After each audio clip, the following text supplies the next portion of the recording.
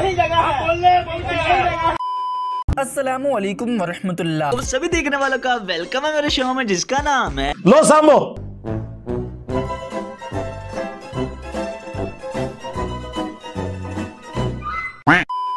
POV I was shitting my pants when I was six months old. But this guy, मैंने यानी कि छह महीने की उम्र में बड़े तमाशे देखे। Really, nigga? बड़े तमाशे देखे हैं नहीं आप अंदर क्या है छह महीने की उम्र की मैं बोलता मैंने आँख खोली है जब से आँख खोली है अ, के झंझनाट सुनी है that's simply not possible. Why isn't it possible? It's just not. Why not, you stupid bastard?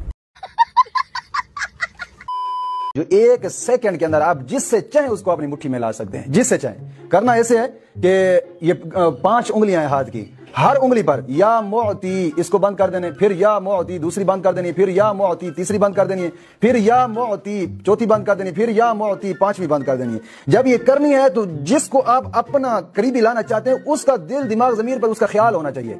फिर पाँच मुट्ठी ऐसे बंद कर दें, जैसे बंद कर दें। अगर वो सामने खड़ा है तो उसके करीब जाकर इस तरह मुठ्ठी खोल दें। अगर वो सामने नहीं आए तो फिर उसके घर की तरफ़ मुँह करके हाथ इस तरह करके खोल देना इस तरह हाथ ये एक सेकंड आपको लगेगा इतना मुजरब और ताकतवर वजीफा है ना देखते रहेंगे।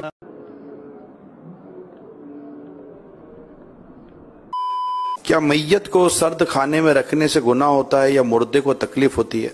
जिन चीज़ों से ज़िंदा इंसान को तकलीफ़ होती है उनसे मुर्दा इंसान को भी तकलीफ़ होती है। अरे क्या क्या करूँ मैं इसका? क्या करूँ? क्या करूँ इसका? क्या करूँ? मार भी नहीं सकता। प्यार जो करता है मुझसे बल्लू तो अब बंदे को ज़िंदा को अगर बर्फ़ खाने में को बंद कर दे है ना तस्वुर से बंदा काँप जाता है बर्फ़ खाने में रखने से। क्या बोलूँ मैं इस पे? मत करो रहने लो रहने दो बहुत बुरे लग रहे तोबा तोबा तोबा थारा मूड खराब कर दिया। सारी खलील रहमान साहब को आप देखेंगे मैचिंग देखते हैं उनकी। चेन के साथ बटन लगे हुए हैं। हालाँकि उस पर जनाब वो पूरा देखें घड़ियाँ और दो अंगूठियाँ और एक में हीरा। माशाल्लाह। आप देखें इतना एहतमाम तो इनको देख के तो कितने लोगों का दिल चाहता होगा। बताए खाली साहब। खुदा की कसम मैं तुम्हारा नहीं हूँ। एक लहर हूँ मैं किनारा नहीं वाह वाह वाह तुम देखते हो क्यों मुस्करा कर मुझे? मैं शादीशुदा हूँ कुमारा पहले से आराम है। माए फाखिर रबी आखिर की ग्यारहवीं रात तीन खजूरें लेकर एक बार सूरतुल फातिहा एक मरतबा सूरत इखलास फिर ग्यारह बार या शेख अब्दुल कादिर जीलानी शैअन लिल्लाहिल मदद। अव्वल आखिर एक बार दुरूद शरीफ पढ़कर एक खजूर पर दम कीजिए। तौबा करो। इसके बाद इसी तरह दूसरी और तीसरी खजूर पर भी पढ़ पढ़कर दम कर दीजिए। दिमाग खराब है कितना ये खजूरें रातों रात खाना ज़रूरी नहीं। जो चाहे जब चाहे जिस दिन चाहे खा सकता है। ज़रूरत ही नहीं। पेट की हर तरह की बीमारी। मसलन पेट का दर्द कब्ज गैस पेचिश कै पेट के अल्सर वगैरह के लिए मुफीद। अभी वो एक ड्रामाबाज आया वो इनका एक सूफी। और जस्टिस अपने आप को कहता है। वो काफ़ी अरसे से मेन मीडिया पे मेरे खिलाफ वीडियोस भी बना रहा था। जाहिल आदमी है। अभी उसने मेन मीडिया पे कहा कि फ्रांस वालों ने नबी इस्लाम की हजरतुल वदा की रिकॉर्डिंग जो है ना उसकी पर वर्किंग शुरू कर दी है। वो साउंड वेव्स उन्होंने रिकॉर्ड की है और वो कुछ अरसे में हजरतुल वदा का खुतबा हुजूर इस्लाम की आवाज़ में रिलीज़ करेंगे। फ्रांस की एक कंपनी जो है उसने रसूल का खुतबा हजरतुल विदा रिकॉर्ड कर लिया हुआ है। इनकी अपनी आवाज़ में उस रसूल की आवाज़ में। अल्लाह। तो वो लोग देखेंगे आने वाली नस्लें और पाँच सात साल में हम पता नहीं होंगे कि नहीं। खुतबा हजरतुल विदा इसी तरह नशर हो रहा है जैसे इस वक्त मेरा और आपका प्रोग्राम जा रहा है। 2030 तक ये खुतबा आप टीवी पे देख रहे होंगे। आप कहाँ थे ज्ञानी बाबा? होंगे। हुजूर अकरम की अपनी आवाज़। अपनी आवाज़ में। इसको डिग्री किसने दी है? इसको बेसिक साइंस नहीं पता कि आवाज़ जब एक दफ़ा मुँह से निकाली जाती है जब आपने सुन ली अगर उस वक्त रिकॉर्ड हो जाए तो हो जाए उसके बाद वो वक्त के साथ उसी वक्त वो डिके हो जाती है बिल्कुल खत्म हो जाती है दोबारा उसे रिट्रीव नहीं किया जा सकता।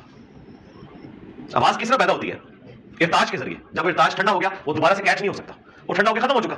इल्ला ये कि उस जमाने में रिकॉर्ड कर ले। वो तो आज से सौ साल डेढ़ सौ साल पहले की रिकॉर्डिंग कोई नहीं है। कह जाए कि नबी इस्लाम की। और वो कह रहा है, फ्रांस वालों ने तहकीक कर ली है फ्रांस वालों पता ही नहीं।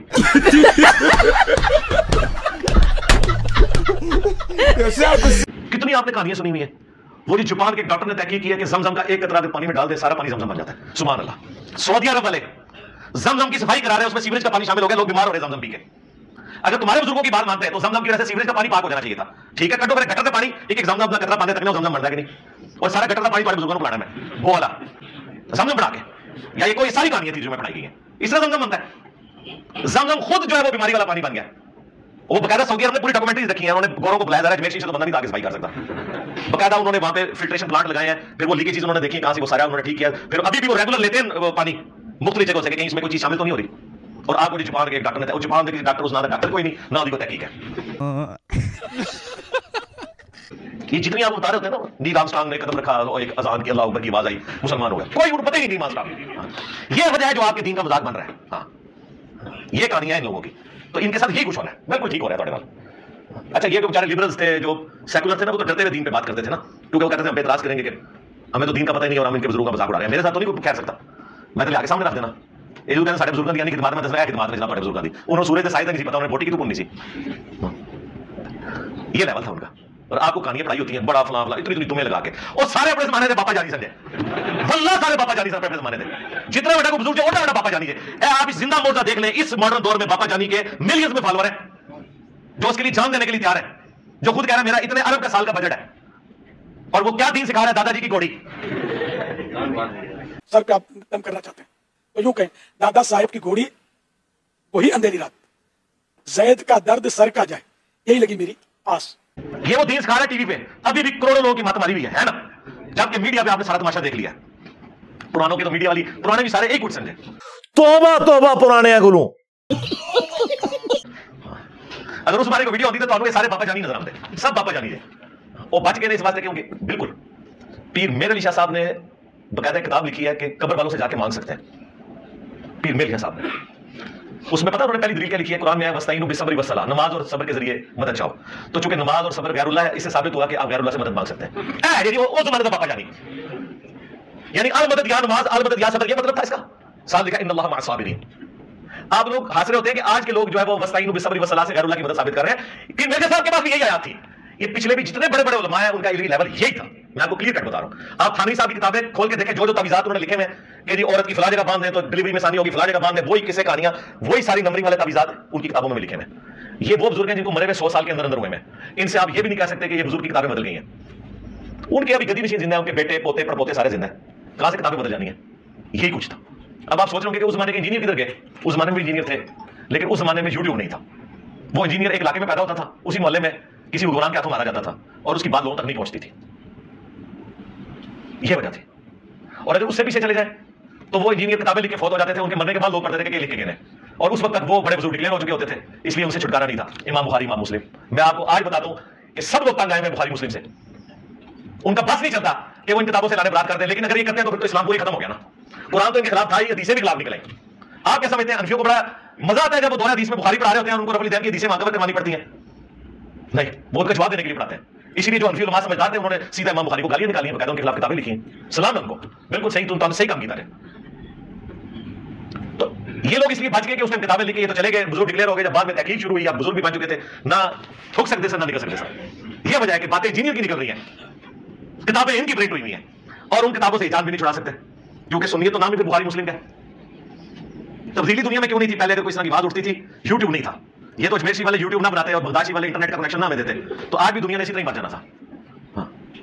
ज़ाहिर है बुज़ुर्गों की कहते हैं बुज़ुर्गों की खिदमत इन्होंने की होगा, ज़ाहिर अल्लाह का फजल है कि ये मीडिया की बरकत से अब ये आवाज़ हर जगह पहुँची है, वरना ये पहले भी जमानों में लोग पैदा होते थे। अगर आपके सबूत के सबसे बड़ा सबूत आपके लिए है, हज़ारों साहबा ज़िंदा है और इमाम हुसैन को उनके बीवी बच्चों समेत कत्ल कर दिया गया बाकी कितने चंगे सबूत मिल गया? ये कुछ होता था। और ये साहबा के दौर की बात हो रही है। ऐलान हक बुलंद करने पे इमाम हुसैन के साथ खड़े चंद लोग हैं। बाकी सब लोग मुखालफत में खड़े हैं या न्यूट्रल हो गए हैं। तो आप पुराना कोई भी जमाना करें वाकई करबला के तो बाद का जमाना है ना? तो उस जमाने में भी अगर कोई स्टैब्लिश दीन या फिरके के खिलाफ आवाज़ उठाता था, बनु बास की तलवार तैयार थी उसके लिए। उन्होंने तलवार के ज़ोर के ऊपर फिर नाफिज की हुई थी। इनके बुज़ुर्गों की औकात यह है कि इन लोगों का इस्लाम भी उस जमाने के बड़े मुहदसी मशकूक मानते थे। इमाम मालिक जब खलीफा वक्त के दरबार में गया, उसने तारुफ कराया कि ये मेरा चीफ जस्टिस है, काजी यूसुफ, अबू निफा का सबसे बड़ा शगिर्द। तो इमाम मालिक ने उसकी तरफ़ निगाह उठा के भी नहीं देखा कि लोगों ने दीन का जनाजा निकाला है। लेकिन बस इतने बेचारे कर सकते थे ना। मुहदसीन तो यकीन करें लोगों को घास नहीं डाला करते थे। इन लोगों के सलाम का जवाब नहीं दिया करते थे, जो तलवार के ज़ोर के ऊपर पूरी दुनिया के ऊपर मुसलत हो गए। इसीलिए वो कहते हैं, जो साड़ियाँ दी सारी सन इमाम बुखारी ने नहीं लिखी है। बिल्कुल सही गीता है। वो आई कोई क्यों लिख दे बस बेचारे किताबें लिखते रहे कि कभी अच्छा वक्त आएगा, हमारी भी सुनी जाएगी। हुकूमत अनफियों की है, किताबें बुखारी, मुस्लिम थी। और बिल्कुल अपोजिट फ़िक्र की है ये तो अल्लाह ने मुबारक दौर आज किया और आप देख रहे हैं बारे। अल्लाह के फजल से हर तरफ़। अब इनको मुँह छुपाने की जगह नहीं मिल रही रहे जी साहब ने बुखारी की हाल की थी है तुसी कह रहे हो लिखा है, बुखारी में तो ये लिखा हुआ है। आप बुखारी को तो गाली नहीं निकाल सकते। मनु भी उधर सारा एजेंट कह देंगे यानी कि इमाम बुखारी, माँ मुस्लिम भी उधर सारा के नाउज नाउजुबिल्लाह।